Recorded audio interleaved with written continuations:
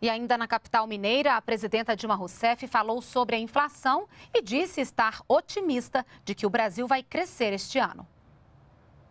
Nós queremos que esse país se mantenha estável.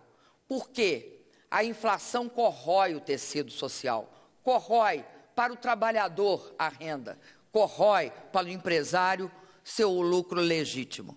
Isso nós não podemos mais deixar voltar ao Brasil. Não há a menor hipótese do Brasil esse ano não crescer. Eu estou otimista quanto ao Brasil. Eu tenho certeza que nós vamos colher aquilo que nós plantamos. E nós plantamos muitas sementes.